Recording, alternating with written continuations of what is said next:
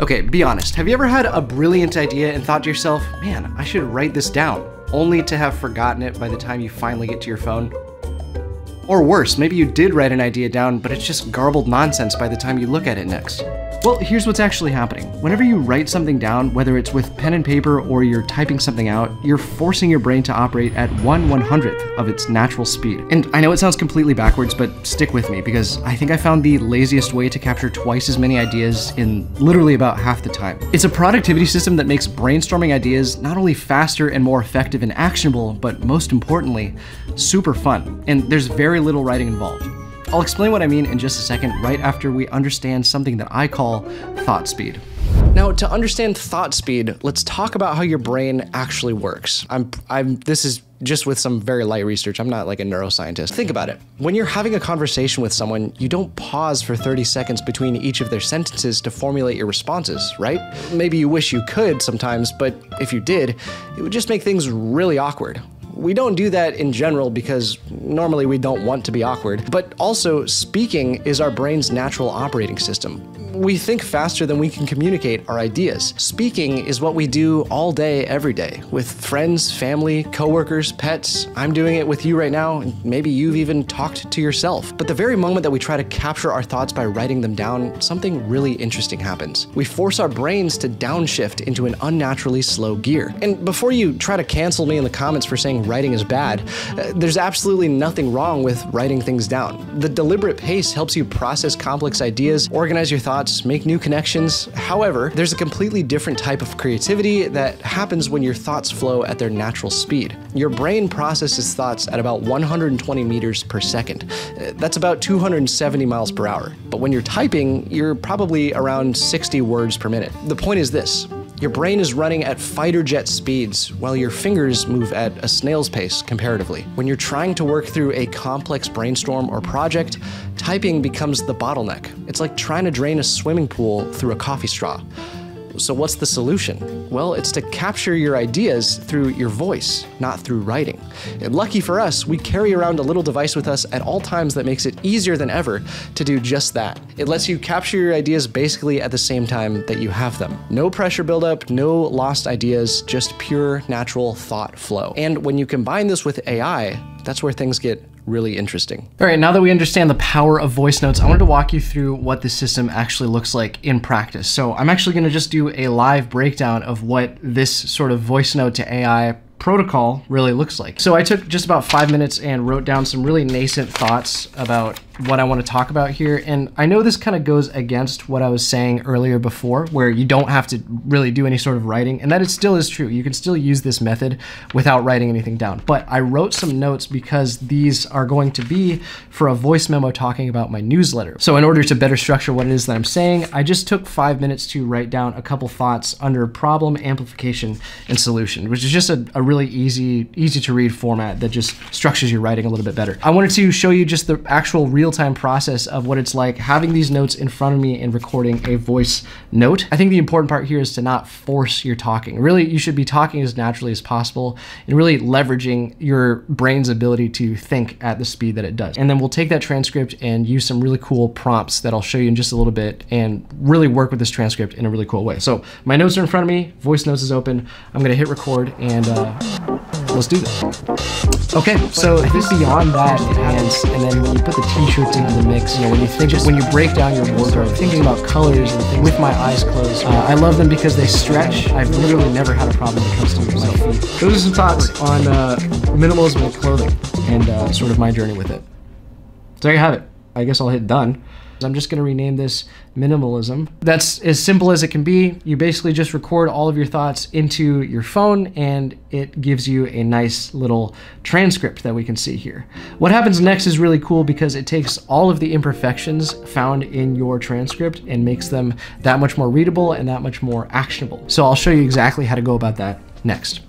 All right, so now that we have our voice memo transcript, the real fun can begin. So I have this thought speed prompt playbook that I'm including for absolutely free with this video. It has a bunch of different prompts that I'll go over in just a little bit, but for now, we're gonna start with the starter prompts. These are just general prompts that we can use basically for any of the main three categories that I think this system is really useful for. I have a brainstorming prompt, project clarity prompt, as well as a journaling prompt. So for now, let's just start with the brainstorming prompt. Uh, all we have to do is open it up and you'll see that we have some different instructions on how we can use it most effectively, as well as the prompt itself. So from here, all you have to do is come up here and hit copy and then head over to your large language model of choice. I'm using ChatGPT. From here, simply paste that prompt in and hit enter. I build these prompts so that all you have to do is send it once and it'll prime ChatGPT or Claude or whatever that you're using um, to be ready for that transcript. The best part about recording transcripts on Apple devices is that it is available across your different devices. Inside this transcript, you can see all of the little imperfections that I have and all of the all of those stumblings over that I that I said when I was speaking. But the best part about this prompt is that it takes away all of that. So what I'm going to do is I'm just going to highlight all of this with Command A, and I'm just going to paste it here. This is the entire transcript right into ChatGPT, and you'll see how quickly this this next part is. So if I hit enter, it'll send that transcript and then ChatGPT, based on the prompt, will spit out a nice even breakdown of all of the ideas that I had. I wrote these prompts to be as general as possible, so by all means get in here and change them however you'd like. I tried to accomplish a lot with a little, making them as effective as possible with just a little bit of prompting.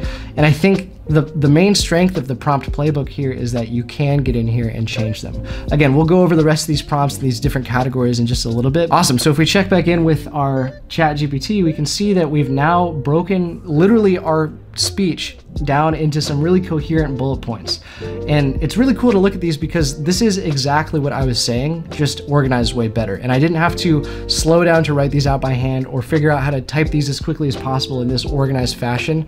It is it is simply here. All right, so by now you probably have a pretty clear picture of how this productivity system works. Have an idea, record a voice memo about it, then paste it into ChatGPT using one of my prompts from Prompt Playbook. But where the real magic comes in is all of the different scenarios that you can use this productivity system. Once you start using this system on a consistent basis, you'll start noticing different opportunities in your life that actually really require this kind of thing. You see, your phone's not just a productivity tool anymore. It is your brainstorming buddy. It is your project planner. It is your journal. It is your all-in-one solution to taking your thoughts, noting them down with your voice, and taking action on them. So now I'm gonna talk about a couple more places that you can use this exact process in different areas of your life. And we're gonna do that by looking at the ThoughtSpeed prompt playbook. This is included in the description for free free because I really do want everyone to start using this. And if it's not this, I want people to have a jumping off place to begin using their voice notes and the, really their voice to capture their most pressing ideas. So inside the ThoughtSpeed prompt playbook, you'll see these starter prompts that we started with. These are really easy, simple base prompts that just give you a good starting point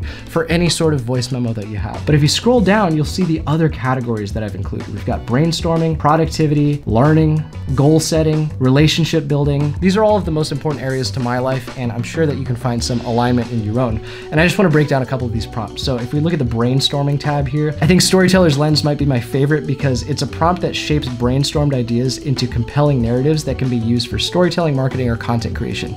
So basically, inside of each one of these prompts, it gives you a how to use section. So just some suggestions that you can keep in mind before you hit record the prompt, which makes it super easy to copy and paste with just this button up here, and then some example uses. So already you can see how easy it is to integrate the prompt playbook into your life. If we look at Focus Maximizer, you can see inside here, this is best for pinpointing what is pulling your attention away. So if you just speak really authentically about the things that you might be struggling with with a certain project or a certain thing that you want to get done, this will begin to identify ways that you can better prioritize your energy. After that, goal setting is a really cool section that I wanted to make sure to include include in this. It is a really streamlined way to begin thinking critically about what it is that you want to do with your life. And the best part is you don't actually have to know.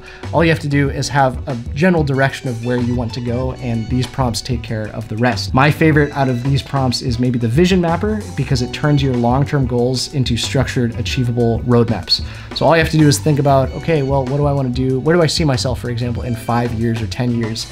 And you can talk through what the steps are that you're taking to get there, or maybe what it is that you're struggling with. And this prompt does the rest. And then lastly here, I have a small section on self-reflection. I thought that this would be a great thing to include if you want to sort of streamline your journaling process. For example, the self-awareness amplifier is a great way to begin sort of holding a mirror up to your own emotions and your own actions and start thinking a little bit more critically about how they affect your mood and more importantly, maybe those around you. So the real beauty of this system isn't just in the tech or even in the prompts that I've been giving you. It's in its ability to fit into your life whenever, wherever. Whether you're a retired 65 year old or an undergrad student drowning in work, I truly think this is one of the best ways that you can begin using your phone not as a distraction, but as a tool for planning and most importantly, action. Not to mention, it's a lot more fun to talk through your ideas rather than writing them down 24 7. Your brain naturally works at thought speed, but for years, we've been forcing it to work at writing speed. And that gap between how fast you think and how fast you write well, that's where your best ideas have been getting lost. But now you have a system that captures ideas at the speed of thought, works anywhere, anytime, and actually feels natural to use. Now you're not just recording thoughts, you're building a system that turns your natural ways of thinking into tangible progress. But if you want to see another system that I've built for maximum productivity that uses a couple key apps that you probably already have on your phone, check out this video here. With that, thanks so much for watching. I hope this helped, and remember, keep scrolling mindfully.